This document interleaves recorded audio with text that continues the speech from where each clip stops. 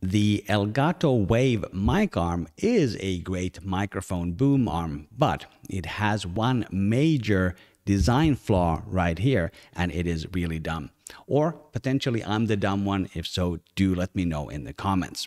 The mic arm comes with this ball head at the end, which allows you, in theory, to adjust the microphone to whichever angle you want. Let me demonstrate. I'm going to start by loosening up the lever at the bottom.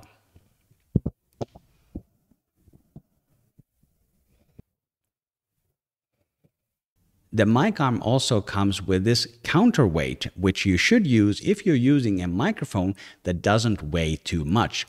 I am now going to attach it to the end of the mic arm. It slides in like this, and then when it's correctly positioned, it will snap into place like so. However, when I attach the counterweight, it will actually block the ball head release lever right here. When it's pointing downwards, there is no problem, but if I release it, I will show you what happens. I can only move the microphone like this. If I want to move the microphone up and down, I actually have to rotate this entire ball head assembly like so.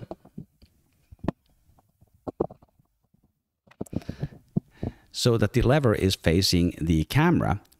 And now I could, in theory, move my microphone up and down.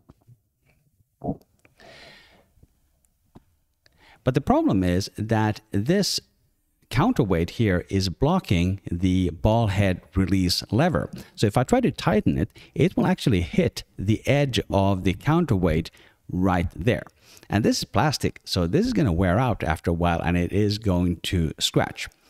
And the same problem arises in all the other directions as well. Let's put it upwards instead. I'm going to release it there, turn it upwards. And if I try to tighten it now, there it also hits the counterweight. And the same thing if I face it the other way around, away from the camera.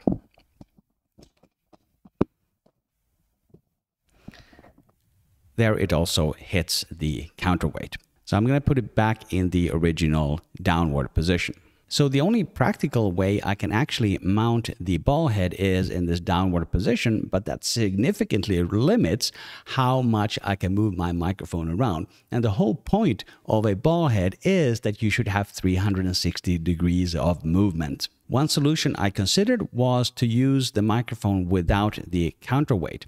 And so long as the microphone is attached, it will work. But as soon as I take away the microphone, the arm will swing up because there's tension on it, and then there's the risk of it smacking you in the head. Another solution that I considered was to tilt the counterweight a little bit away from the lever, but this has two problems. It's not correctly mounted and it will still hit it at the top position. This is unfortunately just bad design by Elgato, which is a shame because this is a great microphone arm. If you can live with this limitation, I do still recommend it. Check it out with the link in the video description below. There is also the possibility that I just fundamentally misunderstood something, and if I did, and if I'm the dumb one, please let me know in the comments below. To learn more about the Elgato Wave mic arm, check out the video on the screen now. Thank you very much for watching. My name is Markus Seppälä, and I will see you in the next video.